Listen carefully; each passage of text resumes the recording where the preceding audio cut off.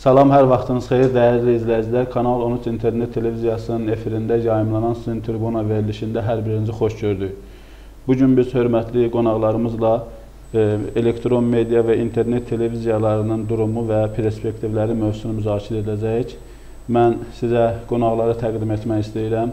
Məndən sağda əyləşən media üzrə ekspert, hüquqşünas Ələsgər Məmmədli və məndən solda əyləşən Jurnalistlərin Həmkarlar İttifaqının sədri, Mətbuat Şurasının sədr müavini Ələs Müşfiq Ələsgərli. Hər ikisini də salamlayıram və xoş gəlmisiniz. Mən ilk sualı Müşfiq müəllim sizə ünvanlamaq istəyirəm. Bu gün Azərbaycanda elektron media hansı səviyyədədir? Təşəkkür edirəm. Orta statistikaya görə təqribən 300-ə e, yaxın e, internet media və e, internet televiziya və radio fəaliyyət göstərir.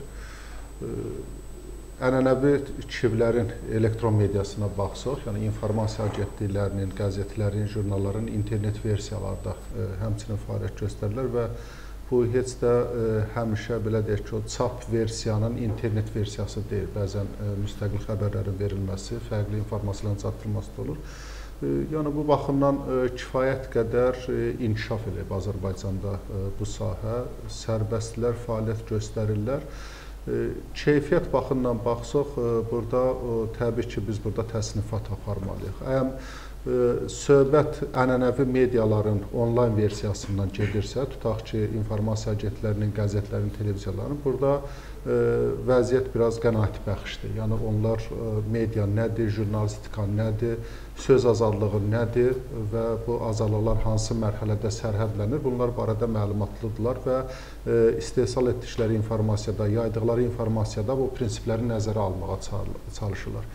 Amma ə, e, söhbət əyəm məxsusi olaraq ə, e, internetin yaratdığı jurnalistikadan gedirsə, biz ona yeni media təmsilçiləri deyirik, müxtəlif epitetlərlə, yəni vətəndaş jurnalistikası və s.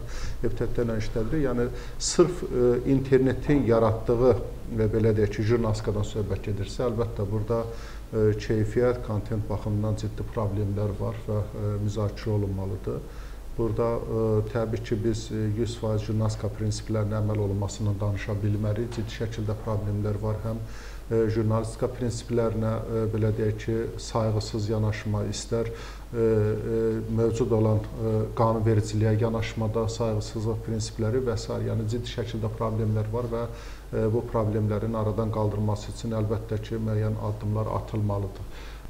Təbii ki, biz bura o sosial şəbəkələri daxil etmirik. Yəni sırf özünü media qurumu hesab edənlərdən söhbət gedirsə, vəziyyət dediyim kimidir. Ələsər müəllim, Müşüm müəllim də qeyd elədi ki, həm də problem var. Sizcə bu həm də problem nədən ibarətdir və bunun hüquqi tərəflərini xahiş edirəm. Mən e, təşəkkür edirəm dəvət eləmisiniz və çox maraqlı mövzudur. Eyni zamanda da bu bir reallıqdır ki, Azərbaycanda da dünyada olduğu kimi media artıq o elektronlaşma sisteminə çoxdan keçib və e, sürətlə belə deyərdim ki, ənənəvi media bu və ya digər formada yeni mediaya öz yerini verir və bu prosesdə ənənəvi media geri qalmamaq üçün Şükrü müəllim də qeyd elədi. Onlar da özlərinin yeni mediasını paralel yaradır. Bəzən görürük ki, qəzet səhifəsində olmayanlar onların saytında var. Bəzi qəzetlər hətta video formatlara da keçiblər. Bu da eyni zamanda bazarda e, mövcud olan yeri itirməmək üçündür. Məsələnin ikinci aspekti sizin sualınıza gələndə əlbəttə ki, problemlər çoxdur və mən düşünürəm ki, bu problemlərin çox olmasının bir səbəbi də bu istiqamətli ictimai nəzarət institutlarının və ictimai nəzarət e, qurumlarının kifayət qədər azlığıdır. E, həm də effektiv olmamağıdır. Çünki problemləri doğuran səbəblərin çoxlu e, səbəblər müəyyən edə bilərik. Bunlardan peşəkarlıq bunun başında gələr. Ondan sonra peşəkarlıqdan əlavə bəzi problemlər peşəkarlıqdan deyil, qəsdən doğan problemlərdir. Çünki sifarişli hərəkətlər var. Məsələn, kimsə deyək ki, qrup konkret olaraq bir sayt və bəlli bir kəsmi hədəf alıbsa, o sistemli olaraq onu edir. O peşəkarlıq məsələsi deyil. Yəni sifarişli olan proseslər də var. Elektron medianın bu tərəfi e, belə deyək də kontrolu çətindir ki, o digər ənənəvi mediadan fərqli olaraq sərbəst qurulur, sərbəst fəaliyyət göstərir və onun öz işində e, dırnaqarası deyək, qaydasız döyüş prinsipi var. Əslində isə qayda yoxdurmu? Var. İndi hüquqi tərəflərini siz soruşduğunuz üçün deyim. Birincisi Azərbaycanda çox az ölkələrdəndir ki, internet mediada tənzimlənir. Bu hüquqda bunun yeri var. Kif haqqında qanunumuzun 3-cü maddəsi konkret olaraq e, medianı əgər anlayışlar qismində sinifləndirdiyi zaman, təsnifləndirdiyi zaman interneti də bir media vasitəsi kimi görür, hətta geniş şəkildə görür ki, bu özü mübahisəlidir. Çünki internet media anlayışı var, bir də internet var. İnternet həm kommunikasiya vasitəsi kimi istifadə edə bilirik günümüzdə, həm də bunu əgər portallar, ondan sonra televiziya, web televiziya, radio, postkartlar filan bunları postkart e, təqdim etdiyimizdə biz bunu media halına gətirmiş oluruq. Bizdə daha çox internet həm e, kommunikasiya kimi istifadə olunur. Bəlli bir, məsələn, korporativ saytlar var ki, hansısa firma öz reklamını orada onunla məşğuldur ya da öz satışı ilə bağlı və s. Amma daha çox bizdə internet e, media e, sferasına e, daha yatkındır. Nə? Onun da səbəbi alternativ mediamızın, yəni ənənəvi mediamızın, xüsusilə teleradio sektorumuzun çox pluralist olmamasıdır ki, insanlar bu aspektdən bizə mediaya daha çox maraq göstərirlər. Bir də hər kəsin istifadə etdiyi sosial şəbəkələr var. Və bu iki sosial şəbəkələrlə informasiyanı bir arada götürsək, bir də korporativ saytları, internet həm kommunikasiya, həm də media vasitəsidir. Bu hələ bu bunun, yaratmır. bunun ə, qarşılıqlıq təbii ki, müəyyən mənada yaranır. Dediyim kimi, məsələn, KİF haqqında qanun bütün interneti ə, bu çərçivə saldığı üçün bunun tənzimlənməsi heç də asan deyil. Yəni kimin e, informasiya resursu kimi fəaliyyət göstərib ictimai funksiya həyata keçirdiyi, kim isə öz fərdi maraqlarından çıxış etdiyini ayırd etmək də həmişə asan deyil. Amma bir e, digər məqam var. Yenə bu da hüquqi aspektdir ki, Hüquqda yayılma dediyimiz bir anlayış var. Yayılma ikidən çox şəxsə yayılma kimi anlaşılır. Yəni kütləvi yayılmadan gedir söhbət. İnternet də e, xarakter etibarilə kütləvidir. Yəni kim e, hətta özünə bir bloq açsa belə, əgər o bloqda yaydığını hər kəsə açıq qoyubsa, artıq burada kütləvi yayılma var. Bu aspektdən də bunun kütləvi yayılmanın gətirdiyi məsuliyyətlər var. Bu məsuliyyətlər e, əgər şərəf ləyaqətin və işgüzar nüfuzun qorunmasından söhbət gedirsə, Bu mülki məcəllədə, cinayət məcəlləsində tənzimlənir. Əgər e, dövləti əleyhinə və yaxud da qadağan, qanunla qadağan olunmuş çağırışlarla bağlı məqamdırsa, konstitusiya quruluşu devirməyə yönəlikdirsə, bunlar yenə e, cinayət məcəlləsinin 281-283-cü maddələrində tənzimlənir. Yəni internet mühiti tamamilə tənzimlənmir mühit deyil. Tamamilə belə qaydasız döyüş mən öz ifadəmə təkrar dönürəm deyil. Təəssüf ki, istifadəçilər bunu bəzən belə görür və e, məsələn biz elementar olaraq baxırıq, e, hətta günlük həyatda bəyən dəyər verdiyimiz və ya səviyyəsinə görə sayğı göstərdiyimiz adamların belə xırda statuslarında görürsən ki, bəzən çox da etik olmayan ifadələr işlənir.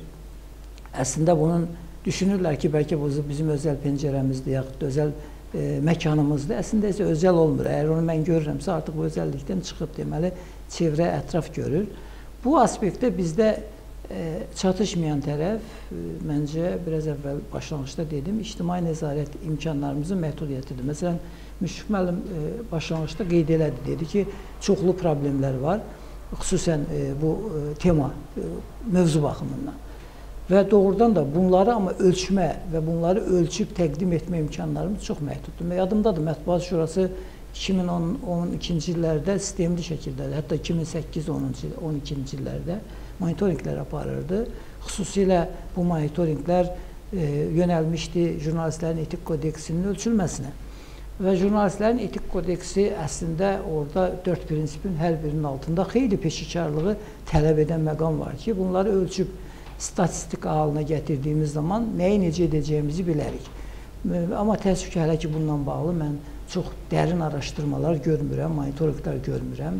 Xüsusilə belə deyək, geniş monitorinqə cəlb olunmuş ə, resursları görmürəm. Bura mən arzu edərdim ki, məsələn, dövlət resursları da, eyni zamanda ictimai resurslar da, eyni zamanda özəl resurslar da hamısı monitorinq altına alınsın və burada ən yaygın, ən geniş pozuntular nə kateqoriyadadır, bunları müəyyən edək və bunun da aradan qaldırılması üçün daha sonra onun tədbirləri haqqında düşünək.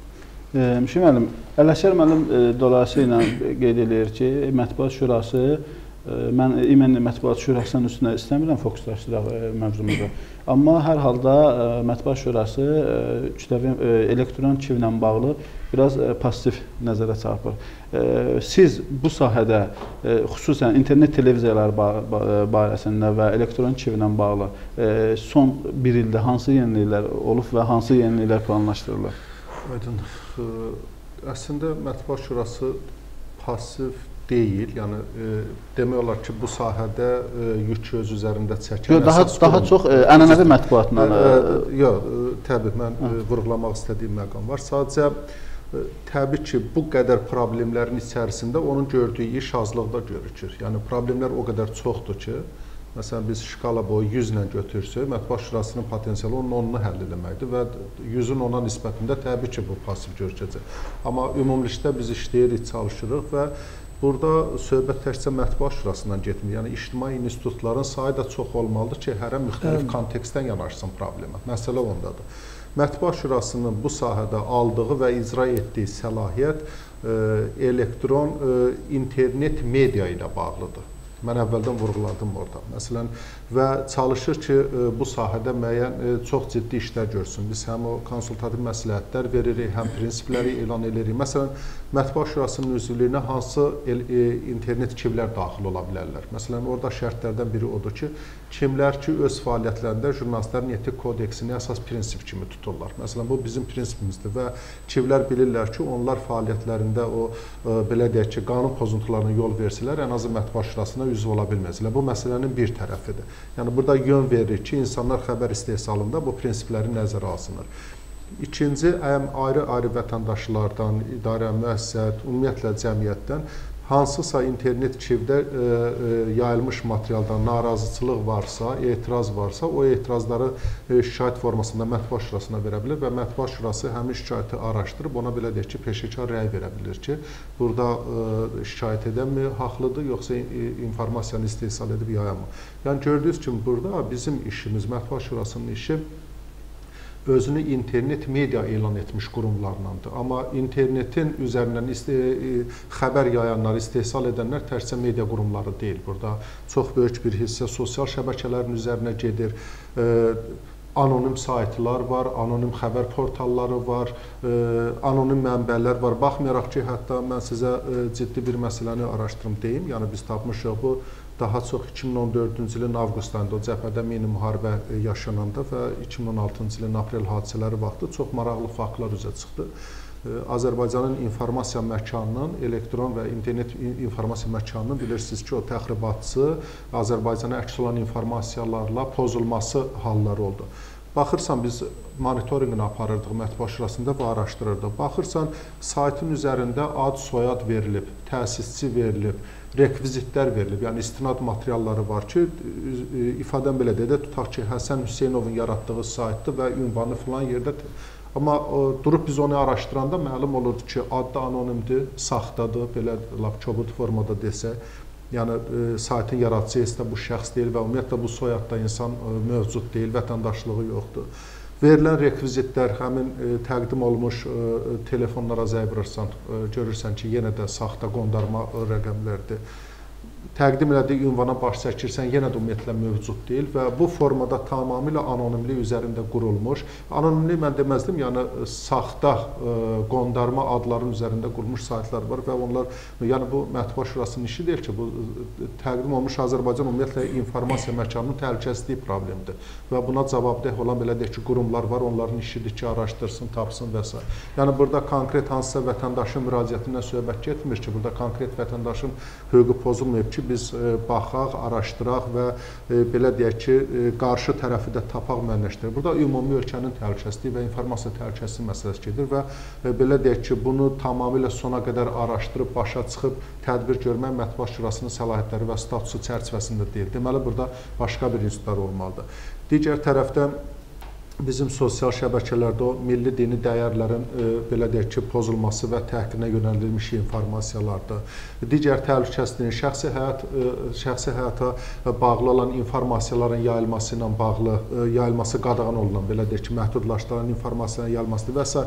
Yəni informasiya o qədər çox çeşidlidir ki və o informasiyanı yayan resurslar o qədər çox çeşidlidir ki, bunu e, belə deyək ki, bir qurumun, bir ictimai qurumun üzərinə e, qoymaq və onun e, belə deyək ki, ondan effektiv fəaliyyət göstərmək özü düzgün deyil. Yəni burada əslində biz ictimai institut yox, ictimai institutlardan söhbət edirik. Burada paralel olaraq e, kontentə görə, yəni məzmuna görə, yayılan məzmunların çeşidinə, informasiyanın çeşidinə görə yol verilmiş xətanın çeşidinə görə və s. müxtəlif qurumlar olmalıdır ki, burada təbii ki, bu məsələlər e, tənzimlənsin.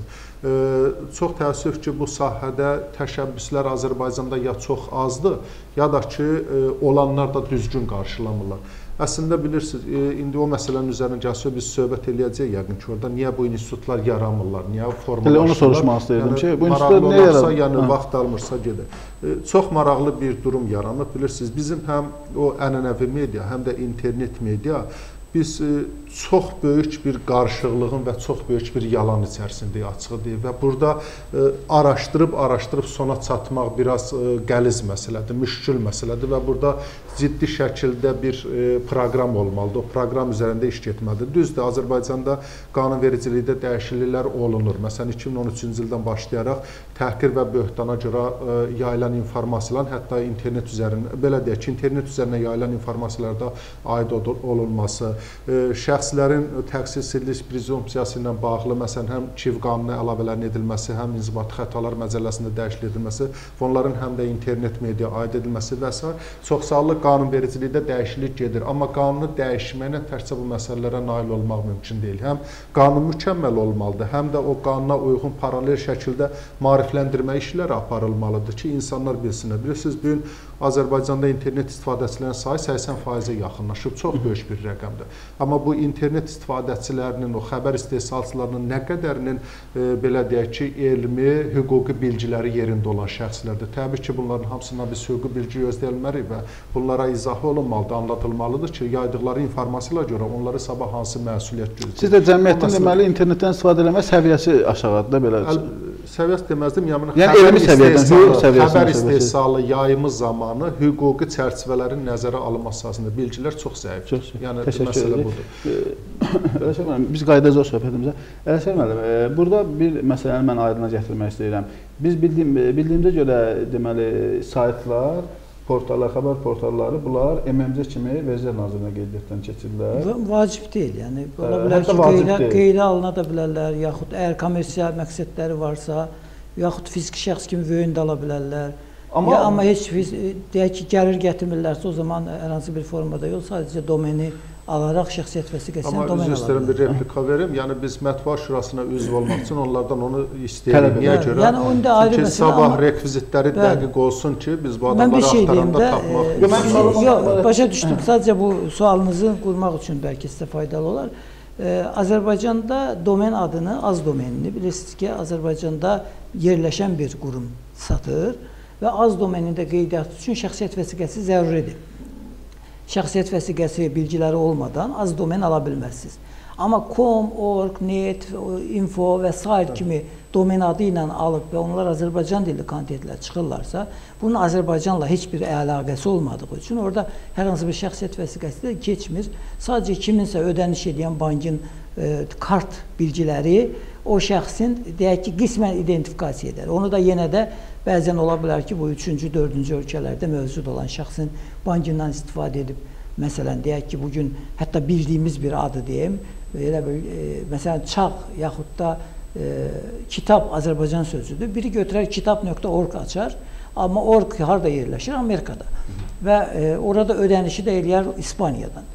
Bunun artıq Azərbaycanla hər hansı bir bağını tutmaq və ya burada identifikasiya etmək mümkün olmayacaq. Bu aspektdən e, Müşfiq bəyin dediyi o mətbuat şurasının tələb etdiyi böyük ehtimalla daha çox məcbur olacaq az domenlərinə. Çünki onlar Azərbaycan kontentidir. Domen az adı Azərbaycana aiddir.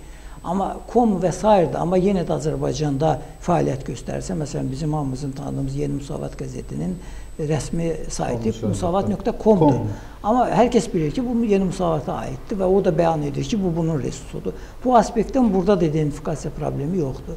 Amma digər hallarda əlbəttə ki, Müşfiq bəyin dediyi anonim və ya ümumiyyətlə e, saxta deyək ki, açılmış hesablar, amma kontent olaraq Azərbaycanca yayırsa, bunların e, böyük ehtimalla heç bəlkə yerləşim yeri də Azərbaycan deyilsə, bununla bağlı nəsə iş görmək Mətbuat Şurasının və ya Azərbaycanda mövcud olan qurumların səlahiyyət çərçivəsində deyil.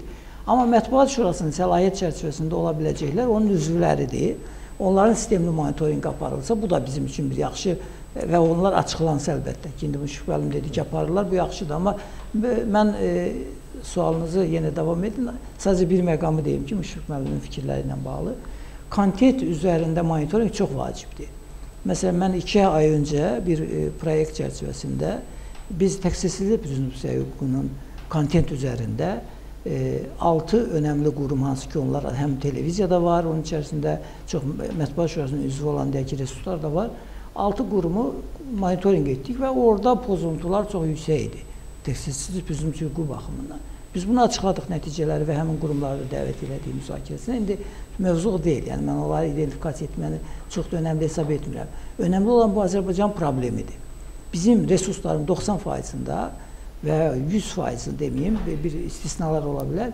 Amma 90%-ında bu və digər formada kontentdə hüquq pozuntusuna yol verilir və bunun içərisində də bilavasitə Mətbuat Şurasının özünün müəyyən etdiyi jurnalist peşəkar e, davranış kodeksinin də üçüncü, dördüncü maddələri, xüsusən üçüncü maddəsi o şəxsi həyata toxunulmazlığına hörmət, şərəfli ləyaqətin qorunması və s. Bunlara da ciddi şəkildə baxırsan ki, hər zaman müdaxilə olunur. Və bunun e, mən ona görə dedim ki, ictimai institutlar bu prosesdə cəlb olunmalıdır. Azərbaycanda e, qeyri-hökumət sektorunda fəaliyyət göstərən qurumların maliyyələşmə problemi son 2 ildə yaşanmasa, bəlkə bu istiqamətə daha geniş imkan yaranardı xarici mənbələrdən də alınan vəsaitlər, amma daxili mənbədən bu istiqamətə çox məhdud sayda bildiyim qədərlə resurs ayrılır və onlar da çox da ictimai effektiv layihələr kimi görünmür. Mən arzu edərdim ki, həm KİVə Dövlət Dəstəyi Şurası, həm e, QHT-lərə Dövlət Dəstəyi Şurası xüsusilə bəlli bir e, tranş ayırardı məhz medianın kontent monitorinq və onun aradan qaldırma problemlərinə. Bu çox vacib olardı. İstənilən halda mən də Müşfiq bəyin o fikri ilə razıyam ki, qanunvericiliyi nə qədər sərtləşdirirsən, sərtləşdir ya da nə qədər geniş tənzimləmə gətirirsən, gətir, problemlər həll edə bilməzsən. Problemlərin bir önəmli həll yolu e, toplumun öz içindən konsensus yolu ilə, e, ictimai qınaq yolu ilə, maarifləndirmə yolu ilə bir formada prosesləri üzərinə getdiyini göstərmək və beləliklə çəkindirməkdir. Bu effektiv olur. Biz vaxtilə Mətbuat Şurasına mən də o prosesə qatılmışdım. Monitorinqlər aparırdıq. Ardıcıl elan etdiyimiz zaman nəticələri növbəti ay baxanda ölçəndə görürdün ki, geriləmə var, vəziyyət yaxşılaşıb, biraz daha pozuntular azalıb və bir ildən sonra yadımdadır ki, xeyli fərq çıxmışdı ortaya. Yəni burada ictimai nəzarət məncə qınama çox önəmlidir və o qınaq obyektinə tuş gətirmək lazımdır. Müşfiq bəy, siz az domenindən başqa domenləri mətbuat şurasına üzv qəbul edirsiniz? Ümumiyyətlə bu internetdə domen e, fərqi yoxdur. Yetər ki, e, təqdim olunmuş rekvizitlər real olsun. Yəni əsas məsələlərdən biri odur və bu saytların ə, e, qeydiyyat məsələsi hansı formadadır, necə aparılır? O da yox, bizdə ə, xüsusi bir qeydiyyat yoxdur. Sadəcə biz üzvlüyə qəbul eləmək üçün ə, o istədiyimiz sənədlər var və üzvlüyə. Birincisi yəni onlar ərizə yazırlar özləri və ərizədə Azərbaycan jurnalistlərinin peşə davranış kodeksinə əməl edəcəklərini öhdəlik götürürlər. Öhdəlik götürürlər. Birinci məsələdir. İkinci rekvizitləri barədə məlumat verirlər oradakı. Tutaq ki, biz KİV qurumu olaraq bizim bilirsiniz də KİV haqqında qanunvericiliyin 28-ci maddəsi var. Orada istinad materiallarının mütləq verilməsidir. Yəni ünvandır, əlaqə vasitələrdir, kommunikasiyadır və s. Yəni birinci orada o həm ərizədə, həmin belə deyək ki, rekvizitləri göstərir ki, tutaq ki, bank hesabımız, əlaqəmiz, əyləşdiyimiz ofis və s. ya virtual fəaliyyət göstərir ümumiyyətlə heç tutaq ki, konkret yerimiz yoxdur, amma cavabdeh şəxs tutaq ki, filan kəsdir belə və e, bundan əlavə həm də onların o vergilərdə tutaq ki, e, e, qeydiyyatdan keçməsi lazımdır ki, həm də bu bu onların rekvizitlərini belə deyək ki, bir daha hüquqi baxımdan təsdiqlənmiş bir mexanizmdir. Belə və başqa bir xüsusi bir tələb yoxdur.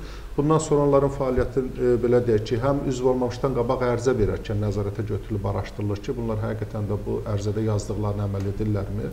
İkincisi, üzv qəbul və ən düzgün çıxarsa və qəbul olunarlarsa, bundan sonra belə deyək ki, onların fəaliyyəti monitorinq olunur. Eyni zamanda əgər konkret şikayət olarsa biz o şikayətləri də araşdırırıq. Yəni mətbuat şurasında bu ə, üzvülü amma üzr istəyirəm. Yəni ə, özünü ə, internet media et, elan etmiş bütün kivlər bizim üzvümüzdürmü? Təbii ki, yox burada. Biz onların çox ə, kiçik bir hissəsini belə deyək ki, əhatə etmiş, ə, əhatə edə bilmişik. Çünki onlar da görünür o şərtlərə hələ ki ə, cavab verəcəklərini özlərini hazır hiss eləmirlər ya və müraciət eləmirlər. Bu məsələ var və ümumiyyətlə kənarda fəaliyyət göstərənlər hamısı leqaldırlarmı?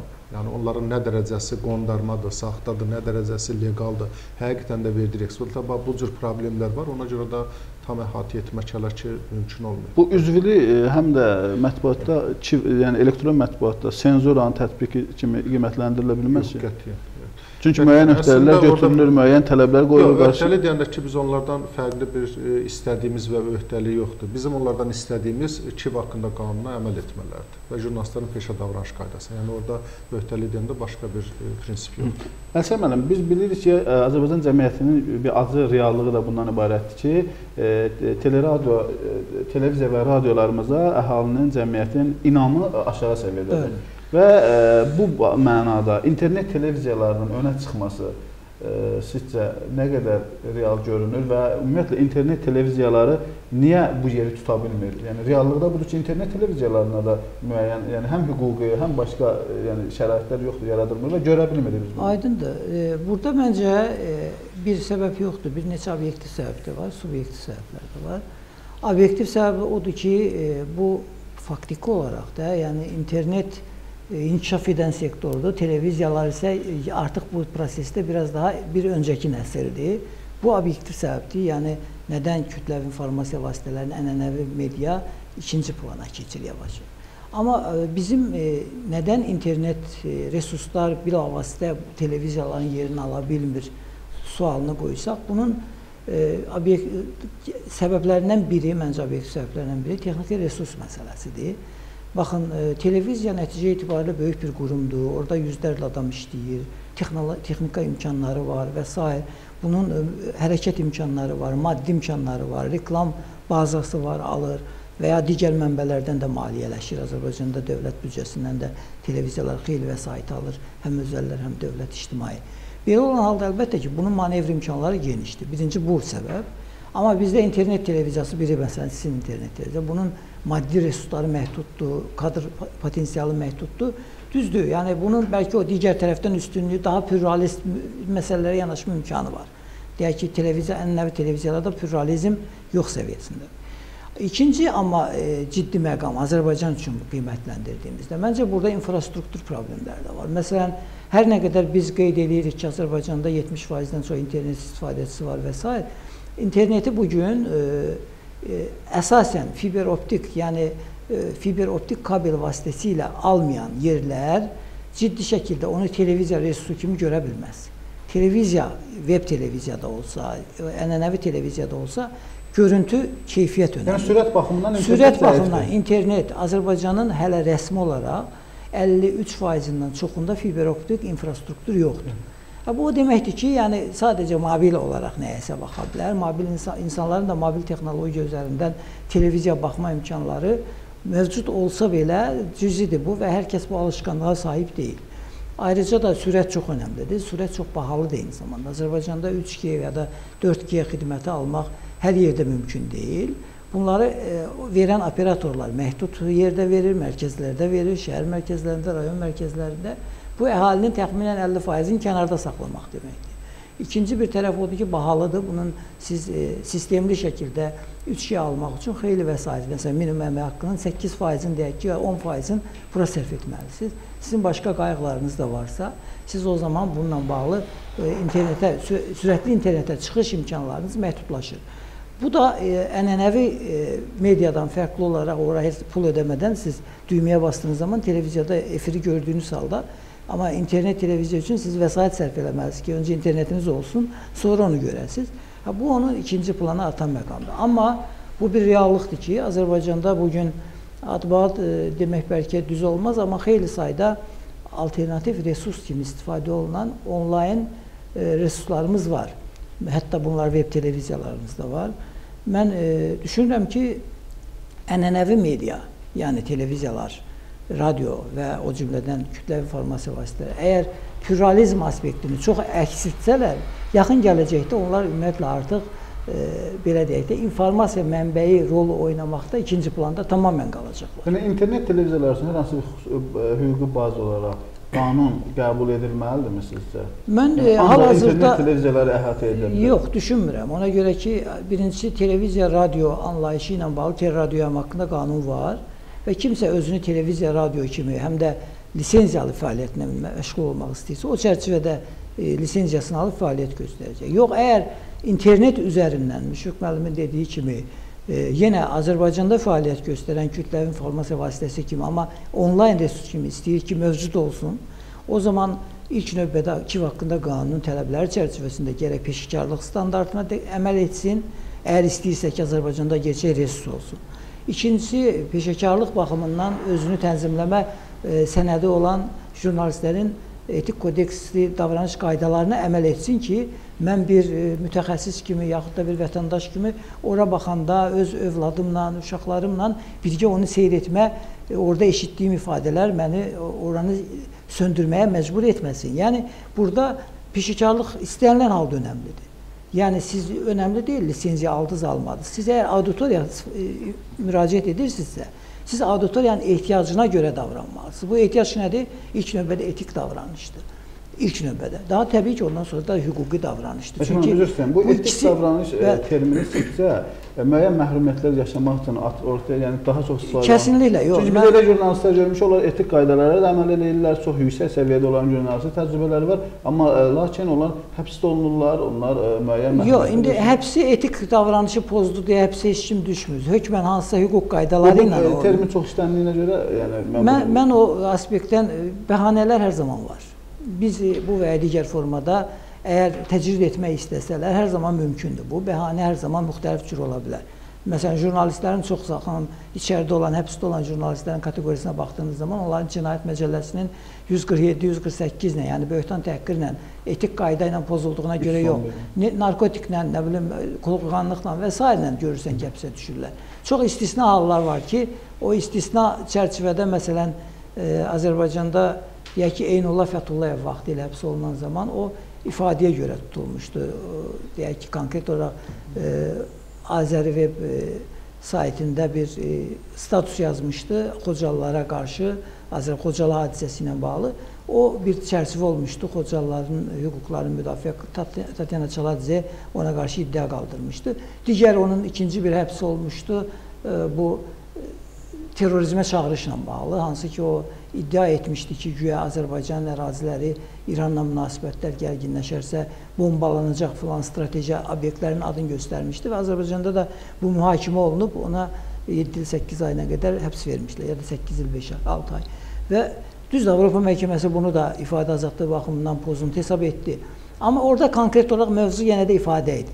Amma onun xaricində bu məsələn bu gün həbsdə olan Seymur Həzi hansısa xulqan dava üçün orada olub. Amma Seymur Həzi eyni zamanda Azərbaycan saatının e, əməkdaşı idi.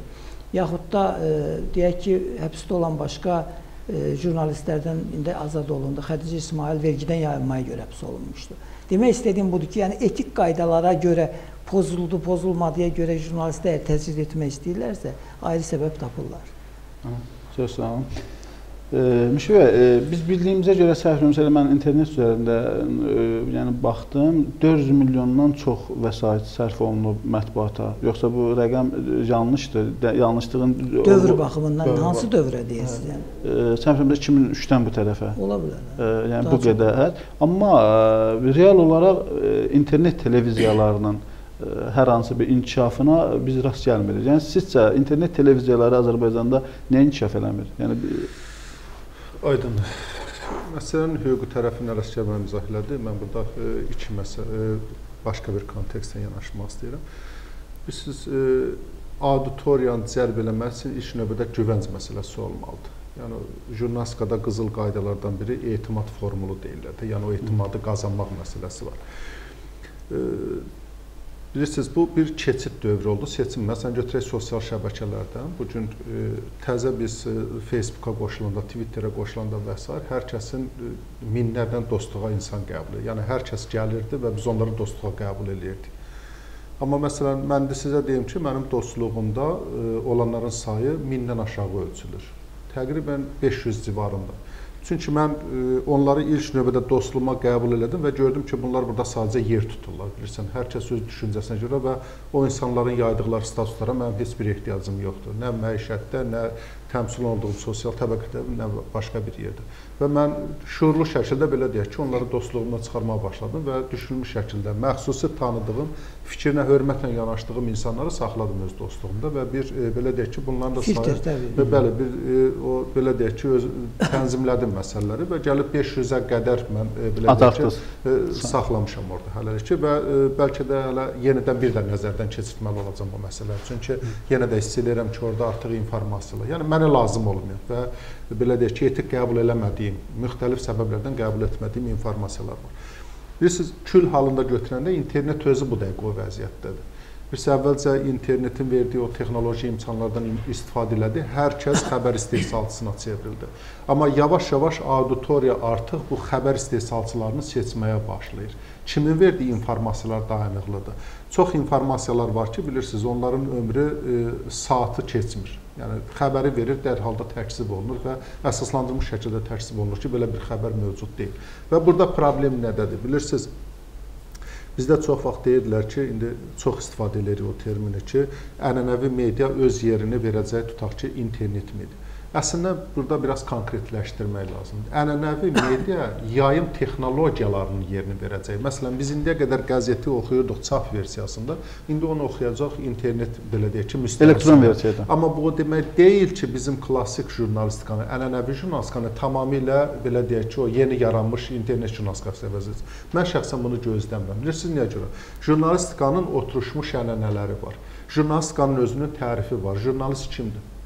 Jurnalist iki kontekstdən yanaşırlar. Bir, gündəlik həyat tərzini jurnalistika xəbər istehsalına belə deyək ki, həsr edən şəxs, jurnalistlərin etik kodeksini qəbul edən şəxs və jurnalist institutlarına qoşulmuş şəxslər. Yəni biz bunu tərif uzada da bilərik, amma daha çox üç prinsiplə. Yəni mən jurnalistəm, gündəlik jurnalistika ilə məşğulam və mənim dolanışığım burdan gəlir və mən o dolanışığım xatirinə belə deyək ki, bunun prinsiplərinə hörmətlə yanaşıram, onun qaydalarını gözləyirəm. İkinci, etik kodeksi qəbul etdiyimi bəyan etmişəm və etik kodeksin gözlənilməsinə nəzarət edən institutlar mənim fəaliyyətimə nəzarət edilir. Mən bu prinsipi nəzərə alıram. Üç, jurnalist təşkilatlarından birinə mən qoşuluram, mənim orada müdafiəm təşkil olunur, mənim bilgilərimi artırmaq üçün onun resurslarını istifadə edirəm və s. və ilə axır. Yəni, mən jurnalistəm. Amma təzə yaranmış o xəbər istehsalçısı kimdir? Bunun ümumiyyətlə bunu qayğılandırırmı? Bunun bu gün yaydığı informasiya nə effekt verəcək və cəmiyyət onu necə qəbul edəcək? Təbii ki, o bir dəfə, iki dəfə cəmiyyəti allada bilir, amma üçüncü dəfə cəmiyyət allamır və burada təbii seçim aparır. Çox təəssüf ki, bizim internet üzərindən yayılan xəbərlərin ilk, belə deyək ki, ilkin dövrdə daha çox ə, yalan üzərində fokuslaşmış informasiyalar oldu. Etimadı itirdi, etimadı qazanmadı və cəmiyyət belə deyək ki, seçim eləyəndə artıq buna amma artıq yeni mərhələ başlayır. Artıq demək olmaz ki, burada kimlərsə, məsələn, 100%-ni götürəndə bunun 90%-i yalan yayırsa, demək olmaz ki, 100% hər kəs elədir. Bunun içərisində real xəbər yayınlar da var və bunlar getdikcə auditoriya toplayır, etimad qazanır və belə deyək ki, diqqəti özünə cəlb edir. Artıq cəmiyyət şuurlu şəkildə bir seçim aparır burada bu məsələ üzərində. Və bu bir təbii tənzimləmə dövrüdür. İndi inşallah ki, yəqin burada vaxtımız da azdır. Yəqin yavaş-yavaş bu internet dövrünə uyğun olaraq bizim institutlar da formalaşacaq, ictimai tənzimləyici institut institutlar da formalaşacaq, maarifləndirmə işləri də aparacaq, qanunvericiliyimiz də ona e, belə deyək ki, uyğunlaşacaq və biz normal bir internet medianı və amma sonda bir daha vurğulamaq istəyirəm ki, mən ənənəvi medianın tam sıradan çıxarılmasını mən proqnozlaşdırmıram, gözləmirəm. Çünki e, real, etimad doğuran xəbəri o şəxslər yayırlar ki, onlar jurnalistika prinsiplərini qoruyurlar. Və üzr istəyirəm, orada mühüm məqamlardan birini bayaq unutdum demək üçün jurnalistin vəzifəsi təkcə qarşılaşdığı informasiyanı yaymaq deyil. Jurnalistin üzərinə qoyun məsuliyyətdən biri o həm də cəmiyyətin marağında olan informasiyanı axtarıb, tapıb hazırlayıb yaymalıdır. Yəni bax bizim o vətəndaş jurnalistikası ilə ənənəvi jurnalistikanın əsas fərqi budur. Vətəndaş jurnalistika qarşısına çıxan hadisə barədə xəbər yayır, ağlına gələn xəbər yayır. Ənənəvi jurnalistika isə cəmiyyətin marağında olan informasiyanı axtarır, tapır, araşdırır və ona çatdırır. Yəni bu Ümumiyyət, məsələlər bunun üçün bir infrastruktur lazımdır. Mətbuat Şurası bax e, monitorinqlər keçirilir, ümumiyyətlə e, mətbuat sahəsində, xüsusən internet mətbuatı sahəsində bütün bilgilərə daha çox yəni maarifçilər. Bizdə məxsusi komissiya fəaliyyət göstərir. Onlar Hə. bu məsələlər xaricdə necə tənzimlənir, demokratik ölkələrdə o təcrübəni öyrənirik, Azərbaycan cəmiyyətinə çatdırırıq və e, hələlik ki, onların özünü tənzimləmə belə deyək ki, kiçik də olsaq missiyasını yerinə yetirir. Mən e, bunu bilmək istirdim. E, yaxın vaxtlarda internet televiziyaların, mətbuat şurası, ümumiyyətlə hökumət tərəfindən xüsusi hər hansı bir çərçivə formada maliyyələşdirilməsi, onlara dəstək olunması bu gözlənilirmi? Bilirsiniz, e, Mətbuat Şurasının e, elektron media baxışı ənənəvidir. Mətbuat e, media ümumiyyətlə bir kommersiya qurunu olmalıdır və özünü formalaşmalıdır. Amma Azərbaycan kimi keçid dövrünü yaşayan ölkələrdə təbii ki, biz bunu məsələn çap mediası üçün indi Azərbaycanda tətbiq olunur. KIF fondu var və o KIF fondu o çap medianın belə deyək ki, yaşadılması üçün, o böhranlı dövrü keçməsi üçün maliyyə yardımıdır. Bu baxımdan müəyyən keçid dövründə elektron media yardım göstərməyi biz məqbul hesab edirik və Mətbuat Şurasının sədri cənab Əflatun Amaşov da parlamentdə çıxış elədi və parlamentdə müraciət elədi ki, millət vəkilləri bu təklifə qoşulsunlar, KIF fonduna ayrılan, büdcədən ayrılan vəsaitin həcmi artırılsın və KIF fondu təkcə çap media deyil, həm də onlayn media, belə deyək ki, yardım göstərmək imkanı olsun. Təbii ki, onlayn mediada kimlər dəstək alacaqlar, bunda kriteriyası formalaşmalıdır. Elə onlayn media özüm elan etmişəm deyib, hər kəs də o yardım ala bilməz. Amma bu hələlik ki, bir təklifdir, bir variantdır. Ola bilsin ki, millət vəkilləri buna səs verərlər, dəstək qazanar və bu proqram qəbul olunar. Ola bilsin ki, başqa tamam effektiv e, təkliflər üzərində işlənirlər və Amma indiki vəziyyətdə təklif formasında qalır. İndiki vəziyyətdə biz hesab edirik ki, elektron medianın e, o jurnalistika çərçivəsini gözləyənlərə bu yardım göstərilməlidir. Onların öz infrastrukturlarını, e, öz redaksiyalarını formalaşdırması üçün təbii ki, jurnalistika prinsipləri çərçivəsində onlara yardım göstərilməlidir və müəyyən dövr üçün bu yardım olmalıdır. Bu bir təklif kimi var. Əsər mən vaxtımız sona yetişir və mən son ə, e, sualı belə qoymaq istəyirəm. Müşüm müəllim də qeyd elədi ki, əslində media həm də kommersiya Bəli. maraqları olmalıdır. Azərbaycan cəmiyyətində e, medianın kommersiya maraqları olmağı nə qədər real görünür? Bilirsiniz, e, real görünüb görünməməsinə asılı olmayaraq bu bir reallıqdır ki, olmalıdır və deyilsə artıq ayaq üstə dura bilmir, müstəqil ola bilmir, asılı olur. Asılı olan mediada nəticəli yaşaya bilmir. Ona görə də mən düşünürəm ki, hətta dövlət dəstəyinə etibar edib media qurmaq istəyənlər varsa heç bu yola girməsinlər. Çünki əgər bu doğrudan da kommersiya layihəsidirsə, onu ayaq üstə durmaq üçün, bəli, dövlətin burada vəzifəsi o mühiti yaratmaqdır. O e, mühit deyək ki, o mühit təbii ki, dardır. Yəni bu azad bazar iqtisadiyyatı ilə çox sıx bağlı məsələdir. Əgər sənin iqtisadiyyatında monopoliya varsa, bu və ya digər formada nə bilim e, idarə etmə strukturlarında olanlar eyni zamanda biznes qurumlarının başındadırsa və s. bunlar hamısı təsir vasitəsidir ki, media bu resurslara çıxış imkanları məhdud olur. Amma nəticə etibarilə media əgər doğrudan da tam peşəkar Ondan sonra bayaq Müşfiq bəyin dediyi bir məqam vardı da, etimadı üzərinə çəkən bir mediadırsa, o bir vasitə ilə o cəmiyyətin öz içindən də maliyyələşəcək. Yəni burada üzvlük kimi də tətbiq oluna bilər, abunəçilik kimi də tətbiq oluna bilər. Bu müddətdə nümunə göstərə bilərsiniz? Belə bir üzvçiliklə. Mən bir şey deyim də, məsələn, ən azından bir nümunə var. Turan İnformasiya Agentliyi xeyli vaxtdır ki, bu abunəçilərin hesabına müəyyən mənada öz fəaliyyətini qurur müəyyən kommersiya e, reklamları da alır və s. Yəni desəm ki, məsələn, Kivə dəstək fondundan vəsait almayıb və nə zamansa qrantlar alırdı, onların da yolu bağlanıb, amma yenə də orada bəlli bir dar çərçivədə də olsa ştatını saxlaya bilib. Bu bir nümunədir, amma e, arzu olunan daha geniş e, formalar var. Televiziyalar məsələn daha geniş kommersiya qurumu kimi ayaq üstə dura bilir. Eyni zamanda digər qurumlar da ola bilər ağlıma gəlmir. Var ki, yəni onların həm reklam gəlirləri var. Fərdiləşdirmə yox, çox bəli, Azərbaycanda var. Var, yəni mən ona görə var, trend var. Hə, konkret e, konkret e, maliyyə dəstəyi alır yoxsa AP hər hansı bir biznes qurumlar, yəni onlar daha çox reklamdan maliyyələşərək ayaq üstə durur. Əlavə olaraq ola bilsin ki, o siyasi hakimiyyətə yaxın olduğuna görə AP oradan müəyyən qədər maliyyə dəstəyi ala bilər. Mən ona görə digər tərəfi də dedim ki, yəni tək siyasi hakimiyyətə asılı olmayan da yaşaya bilir, amma bunun daha yaxşı nümunələri 10-15 il öncə daha çox idi. Məsələn, bizim hətta bütün e, ənənəvi qəzetlərimiz belə öz pulları ilə Zerkala ayna var idi, Musavat özü vardı. Bu əksəriyyəti bağlanıb indi fəaliyyəti. Təbii, mən ona görə dedim, bu iqtisadi prosesdə də daralma çox aydın şəkildədir. İndi e, e, Müşfiqova qeyd elədi ki, parlamentdə səsləndi bu, amma bu real deyil ki, parlament bu il keçən ilkindən çox pul ayırsın. Çünki ölkə büdcəsi 2 ildə təxminən 15 milyard məhdudlaşıb, azalıb. Belə olan halda təbii ki, media ayrılan hissədə də azalma olacaqdır, arta bilməz bu.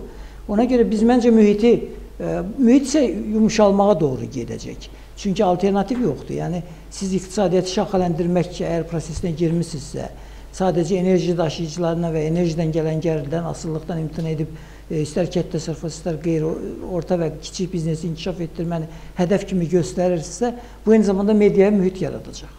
Bunun alternativi yoxdur. Yəni media buradan bəhrələnəcək. Təşəkkür edirəm Ələşər müəllim. E, hər iki qonağımıza çox qonağımıza çox sağ olun deyirik ki, gəldiniz bizə bizdən mövzunu müzakirə etdik. Dəyərli izləyicilər, bizim vaxtımız burada sona çatdı. Biz e, media, elektron media və internet televiziyaların durumu və perspektivləri mövzusunu müzakirə etdik. Qonaqlarımız məndən sağda əyləşən mətbuat üzrə ekspert və hüquqşünas hörmətli Ələsgər Məmmədli və jurnalistlər e, məndən solda əyləşən isə jurnalistlərin Həmkarlar İttifaqının sədri, Mətbuat Şurasının sədr müavini e, hörmətli Müşfiq Ələsgərdir. Təşəkkür. Çox sağ olun. Sağ olun.